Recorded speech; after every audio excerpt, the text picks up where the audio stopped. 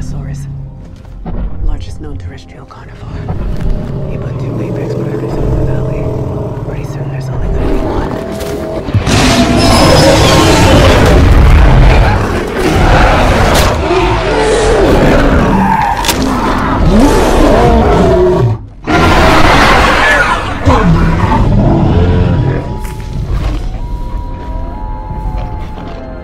Yeah.